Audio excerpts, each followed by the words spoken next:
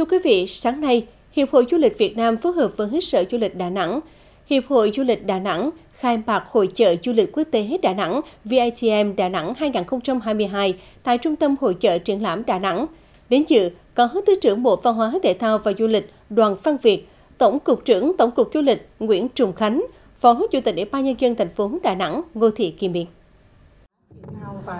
Hội trợ có trên 400 doanh nghiệp đến từ 30 tỉnh, thành phố và từ 12 quốc gia và vùng lãnh thổ. Dự kiến có 2.000 doanh nghiệp và trên 30.000 lượt khách Việt Nam và quốc tế đến tham gia các hoạt động tại hội trợ. Đây là sự kiện có ý nghĩa đặc biệt vì lần đầu tiên tổ chức tại thành phố Đà Nẵng với chủ đề Du lịch biển đảo, thế mạnh của du lịch Việt Nam. Đà Nẵng với vị thế, vai trò là trung tâm kinh tế của khu vực miền Trung, là một trong những điểm đến được đánh giá là điểm sáng của cả nước trong lĩnh vực du lịch, thu hút hàng triệu lượt khách du lịch. Hội trợ du lịch quốc tế VITM 2022 tại Đà Nẵng. Đó là sự tiếp theo sự thành công của Hội trợ du lịch quốc tế VITM Hà Nội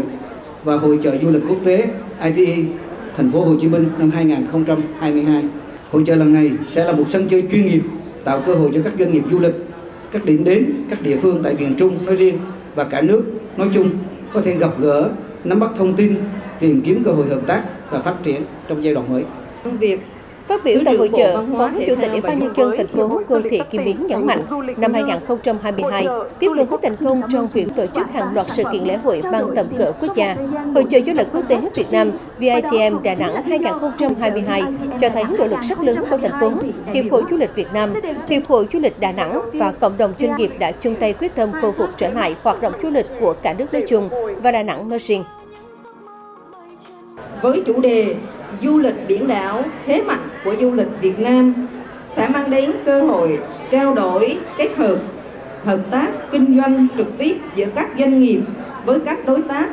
cơ hội để quảng bá, giới thiệu các điểm đến, dịch dịch vụ, phục vụ du lịch trên cả nước cũng như thành thành phố cũng xem đây là cơ hội để có thể giới thiệu những nét đẹp về mảnh đất, con người và những thành tựu về kinh tế xã hội của thành phố Đà Nẵng nói chung và sự hấp dẫn đặc biệt của du lịch thành phố nói riêng đến với bạn bè và du khách ở mọi miền đất nước và trên thế giới. Được biết, sự khác biệt của hội trợ năm nay tại Đà Nẵng là tập trung vào B2B, tức là hội trợ chủ yếu tổ chức cho các doanh nghiệp trong nước và quốc tế làm việc, trao đổi sản phẩm, ký kết hợp tác, trao đổi khách nhằm thu hút khách vào Việt Nam, qua đó thúc đẩy nhanh việc khôi phục du lịch quốc tế, Hội trợ sẽ diễn ra đến hết ngày 11 tháng 12 năm 2022.